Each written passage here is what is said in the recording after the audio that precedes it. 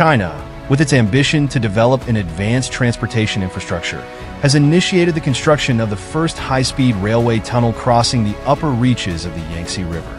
This is not just an ordinary infrastructure project, but a symbol of the strategic vision, modern technology, and ability to conquer complex natural challenges.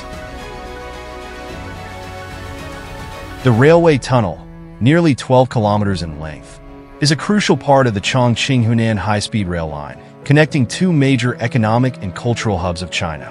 With a depth of up to 42 meters beneath the riverbed and crossing complex geological areas such as riverbeds, valleys, bridge systems, and mountainous terrains, this project aims to optimize travel time between the two key stations, Chongqing Railway Station and Chongqing East Railway Station.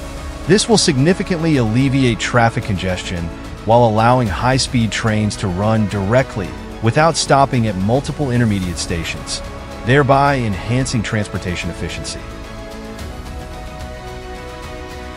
The project's magnificence lies not only in its massive scale, but also in the advanced technologies applied.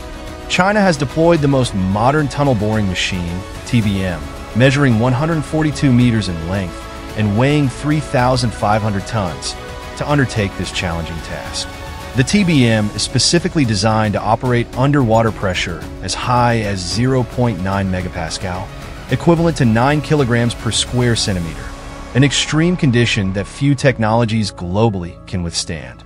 This is also the first time in China that large-diameter anti-landslide tunneling techniques have been employed, showcasing the nation's innovation and advanced technological capabilities.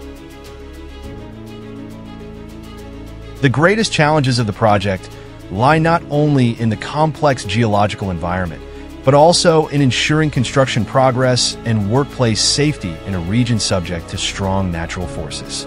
However, with a team of skilled engineers, international experts, and cutting-edge technology, the tunnel construction has been carried out meticulously, precisely, and sustainably.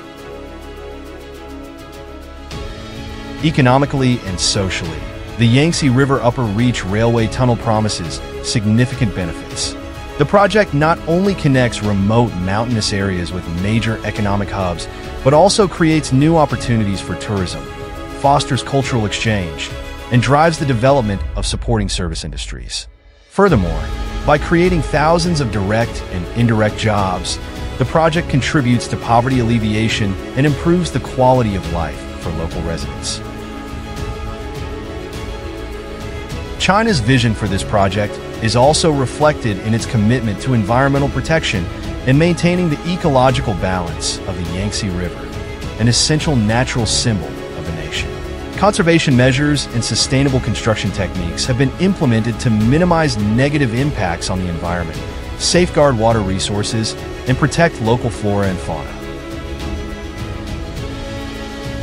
Upon completion in the next five to seven years, the high-speed railway tunnel across the upper Yangtze River will not only be a transportation infrastructure project, but also a symbol of China's remarkable advancement in technology and sustainable development. It stands as a testament to human capability in overcoming nature and turning bold dreams into reality. With the combination of modern engineering and strategic vision, China once again affirms its position as a global leader in transportation infrastructure.